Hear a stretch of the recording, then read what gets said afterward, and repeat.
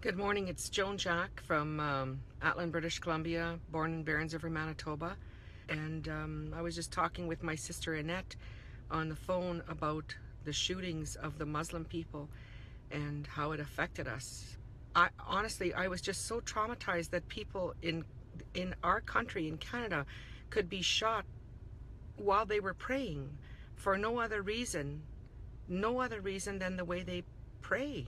Like, and I know, I know for, I know, for example, and a lot of Canadians don't even know, or the world doesn't know, that you know our ancestors were shot for the way they prayed. You know, for the sweat lodge and the sun dances and the the big houses on the west coast, and you know, yes, our ancestors were shot for the way they pray, but the shootings in Quebec City yesterday really, like I said, took a lot out of me and made me think about, well, okay, what about my own racism and how am I contributing to hate in the world? And I'm going live this morning to say that I'm sorry. I'm sorry to, I just want to say sorry to every single white person who I've ever offended just by being an asshole.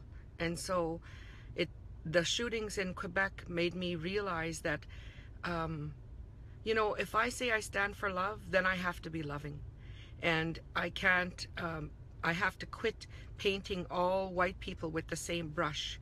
You know, I, I just have to stop that. I, I try to pretend that I don't do that, but I, I do that. And so I just wanted to say this morning that if we stand for love, then we have to be loving. And my commitment is that I'm going to smile at everybody because I do really believe that we are all human. And yes, we're different. There are spruce trees and pine trees and birch trees, but we are all trees. And so Today, I'm going to smile at everybody.